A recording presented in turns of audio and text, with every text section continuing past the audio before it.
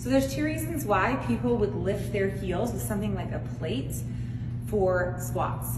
The first reason is they usually don't have the range of motion within their ankles, which means they can't get fully down in a squat with their heels still down on the ground. Usually what happen is their heels will come up. So using this is an artificial way of pretending like you actually have the range of motion within your ankles.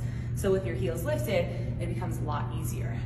The other reason why you lift your heels is to focus on more quad development in a squat. So if I have a weight, and I'm squatting with my heels lifted, this actually engages your quads a lot more with those heels up.